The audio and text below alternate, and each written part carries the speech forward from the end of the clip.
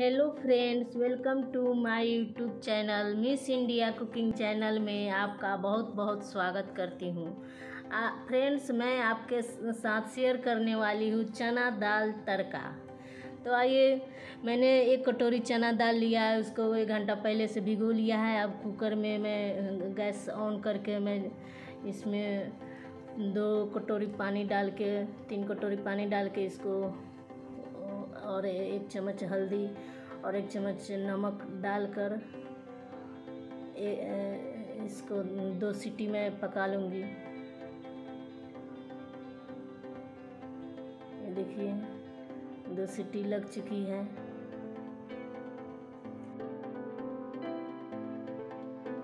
निकाल के और मेरे देख लीजिए, दाल मेरी सीज गई है।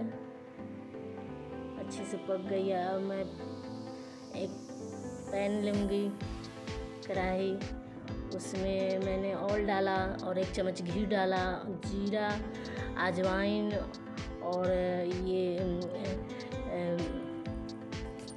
हींग डाल दिया, दो चम्मच, दो हरी मिर्च, दो लाल मिर्च और लहसुन अदरक डाल दिया और प्याज डालकर मैं भूनूँगी। देखिए, हल्का गोल्डन ब्राउन होने तक मैं भून रही हूँ, इसमें हल्का नमक डाल दिया ताकि मेरी प्याज जले नहीं। ऊपर से मैंने टमाटर डाल दिया।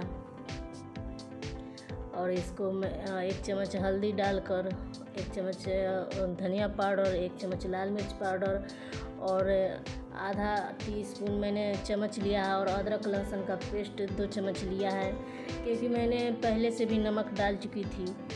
और इसको अच्छी तरह से पकाऊँगी जब तक ये तेल ना छोड़ दे।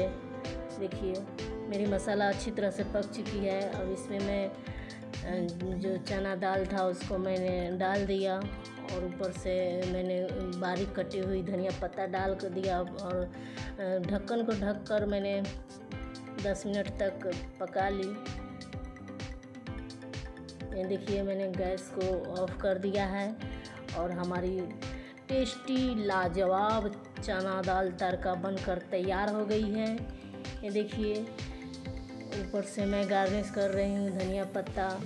बहुत टेस्टी ऊपर से मैं ये मक्खन डाल दे रही हूँ।